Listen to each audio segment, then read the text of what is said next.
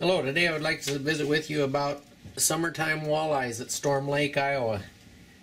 Uh, got seven places marked here and that are my favorites.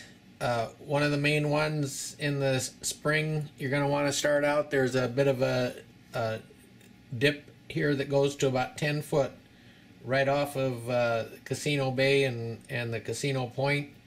Uh, a lot of people will be fishing this area here. There's the outer edge of the cut that goes off into a little bit deeper water. Uh, the lake is basically a dishpan uh, to 14 foot, but now there's dredge cuts in there as well that are uh, up to 20.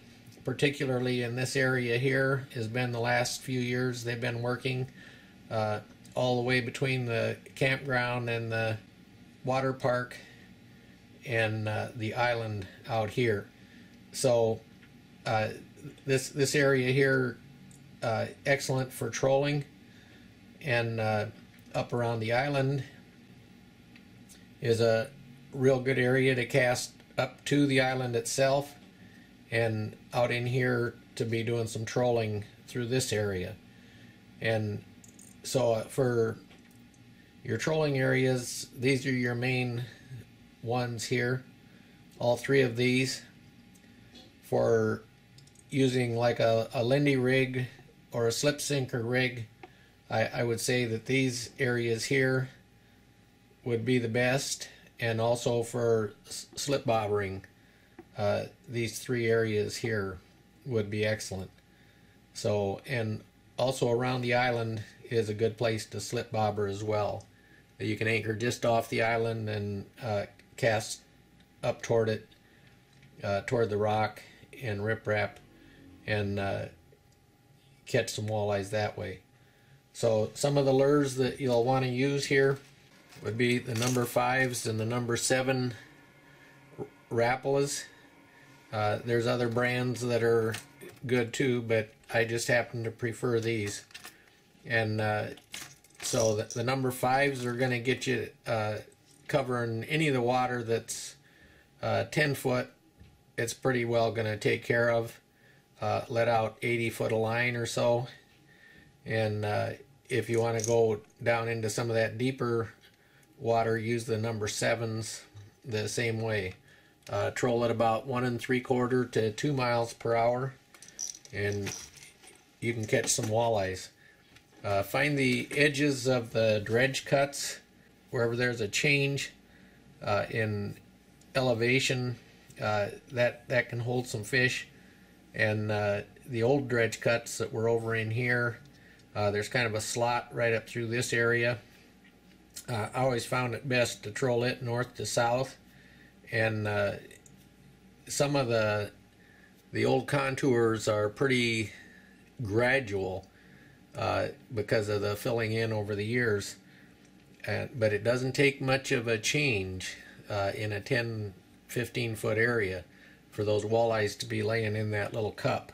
So once you find that, uh, lay a, a, course on your GPS and be sure to follow back the same way. Uh, many times what will happen is you'll uh, find that you'll be catching all of your fish going one direction or the other.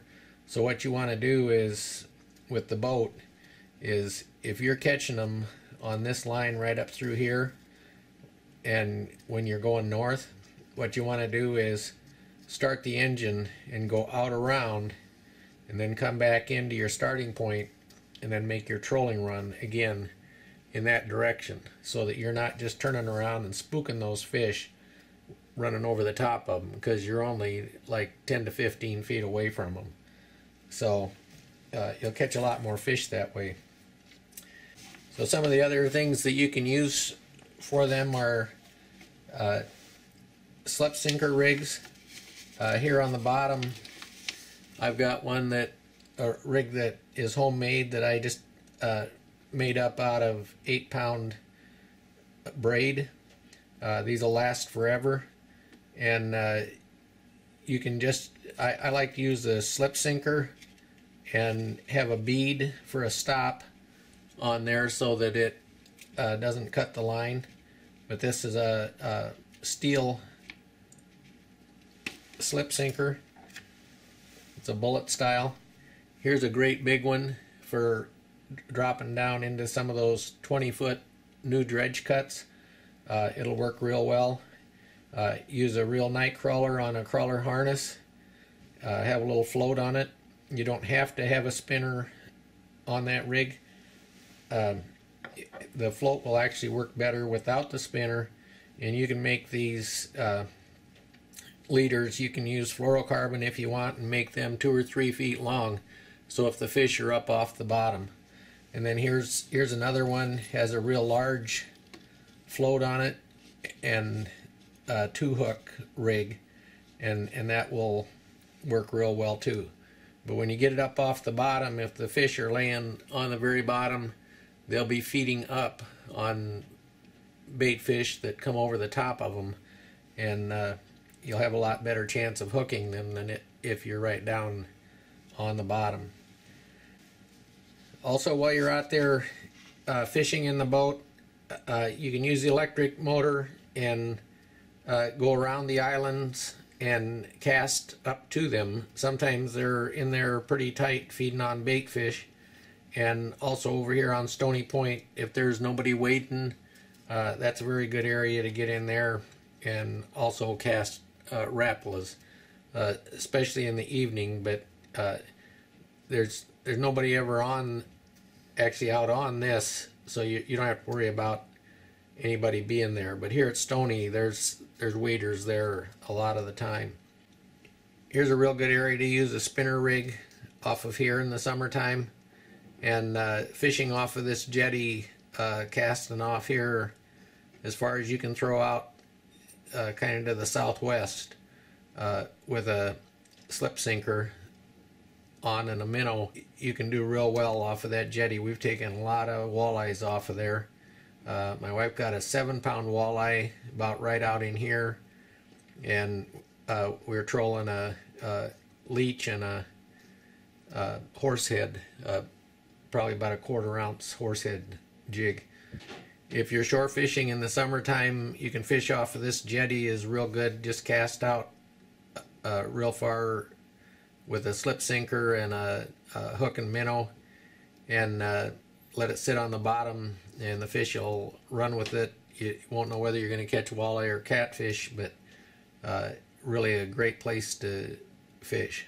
So I also wanted to tell you about one thing in those dredge cuts that you might want to give a try is do some uh, that's really caught on over at Clear Lake. I think with the deeper dredge cuts here in Storm Lake that this is all gonna so gonna catch on over there uh, because that's kind of where these walleyes are gonna tend to migrate to especially during the summer. They're gonna be in those deeper holes. And early in the year as well they're gonna be in there so I hope that helps you uh, ask any questions and I'll try to answer them for you. So thank you and good luck fishing.